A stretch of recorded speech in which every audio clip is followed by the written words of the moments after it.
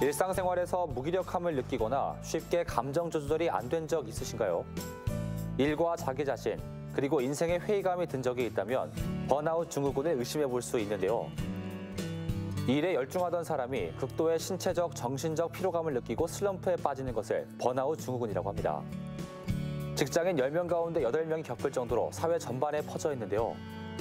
번아웃 증후군은 긴 노동 시간에 비해 짧은 휴식으로 인한 피로감과 강도 높은 노동 등으로 스트레스가 쌓이면서 발생합니다.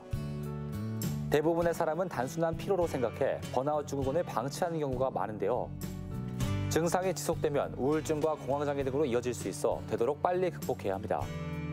번아웃 증후군을 물리치는 방법엔 어떤 것들이 있을까요? 익숙해진 업무 패턴을 바꿔봅니다. 자연스럽게 패턴에 적응하기 위해 집중력과 성취감이 생겨 의욕이 상승됩니다. 계획이나 목표를 세워 달성할 때마다 스스로에게 선물을 주는 것도 좋은 방법입니다. 취미 활동을 즐기는 것도 도움이 되는데요.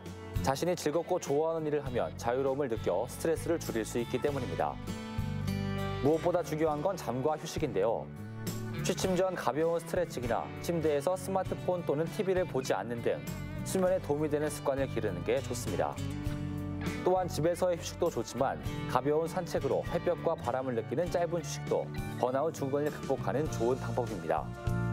버거운 일상을 잠시 내려놓고 온전히 나를 위한 시간을 가져보는 건 어떨까요? 지금까지 카드 뉴스였습니다.